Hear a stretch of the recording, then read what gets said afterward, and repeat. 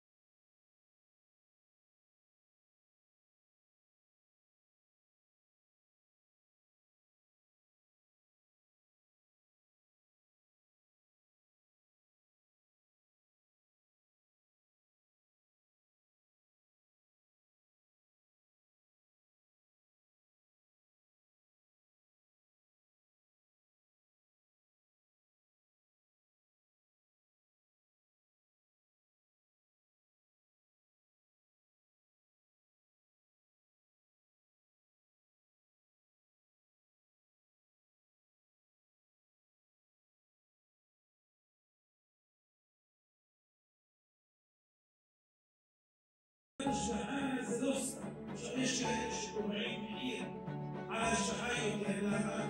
אם צריך שניים או שלושה משגיחים במשמרות, או שמפעל גדול צריך יותר משגיחים, זה עלות המפעל ועלות המוצר. לכן אנחנו מקפידים לאכול רק דברים מסוימים, ואם אין לא אוכלים, מה הבעיה לא אוכלים? לא יקרה לנו שום אסון. היום יש כל כך מגוון גדול. وكولكاسن بيفشل نوع شعبانة فيه وهنا بيتفكاها عن ذلك. تكاع أشبه